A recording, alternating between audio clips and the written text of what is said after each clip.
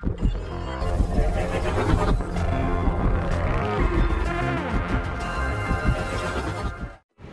guys and welcome back to new video on All India Football. So in this video we are we are here back with some various updates regarding ISL and also the I League. So without wasting any more time, let's get on to the video.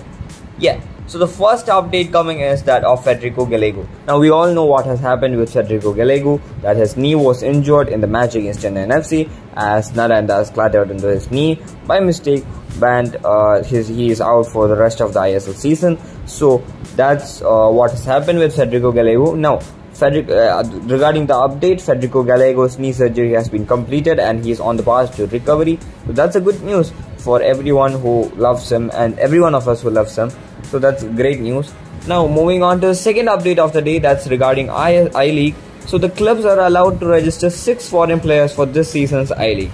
So, but these six foreign players, out of these six foreign players, only four can be registered in the match day squads. That means only four can be registered in the squad, and we will only be seeing a maximum number of four people or four players in the starting eleven. Also, uh, by maximum number of four uh, foreign players will be four in the match day squads. So that's the update regarding I League.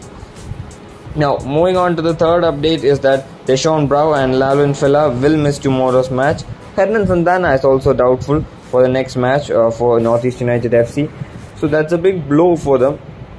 And uh, yeah, so after that, another important update is that Komal Thatal has been injured, and uh, that's uh, that's the fourth update that which we have to give. So that are the various updates that uh, this video was based on. I hope you all get updated. If you got updated, give this video a thumbs up. Consider subscribing to the channel and also share this video with all your friends so that they also get updated with the world of Indeed football.